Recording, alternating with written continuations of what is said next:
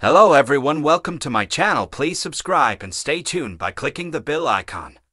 Coronation Street star Doreen Mantle dies peacefully, at home aged 97.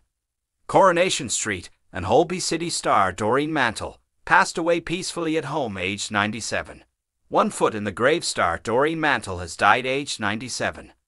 The South African-born actress passed away peacefully at her home, her agent announced.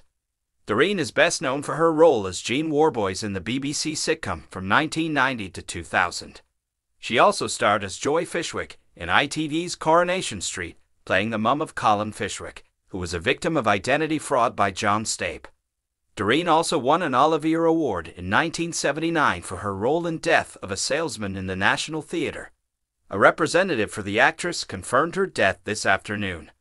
They said, It is with great sadness that we announce the death of our beloved client and much loved stage, screen, and radio actress Doreen Mantle, aged 97.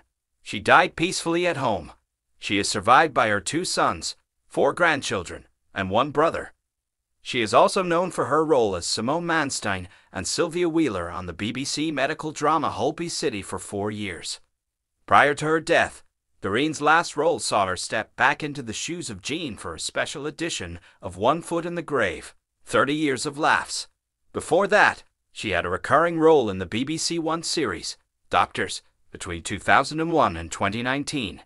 If you like the video, don't forget to like, comment, and share.